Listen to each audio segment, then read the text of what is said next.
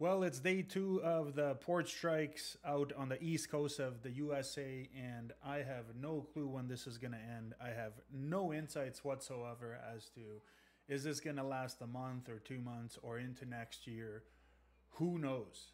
But first off, I just want to say that regardless of all of that, when it's going to end, whether it's soon or later, mm, the whole point of the video is just to get a conversation going with you guys. What do you think the consequences of this will be for the American economy, for the average American individual if it goes too long?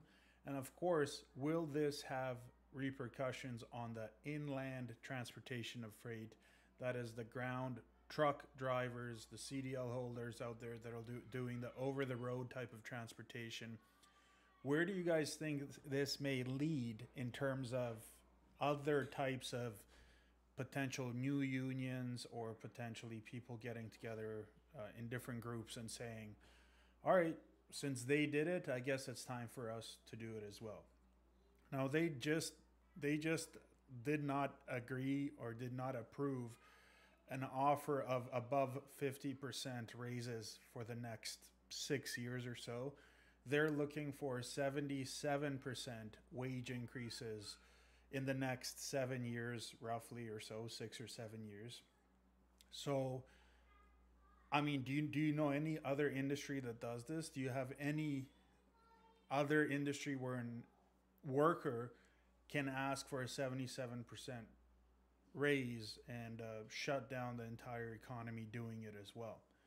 So obviously, there's a lot to this, right? We can blame and point fingers and everything else.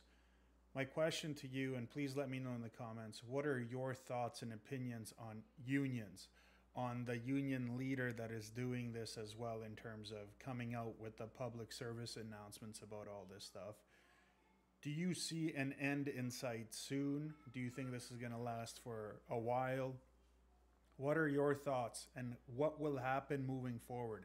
How will this impact the logistics, the trucking world, the import export world when it comes to shipping, when it comes to logistics? How will this affect everything moving forward in this respect? So, the dock workers are going to be waiting. They're going to be waiting until they get their demands met, and we'll see how long that's going to go. It's um, coincidentally happening in Canada as well, up here at the Port of Montreal, where we got a strike going on as well. There's been some rumblings as uh, in terms of some stuff going out in the West Coast. We'll see what transpires there.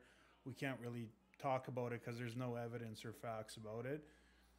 But if this thing spreads or takes a long time to to go where it needs to go, you know, we, we got to really see what will happen. In my in my fair opinion, I don't believe even even after let's say it takes a month, sure rates will go up a little bit because capacity will be tight.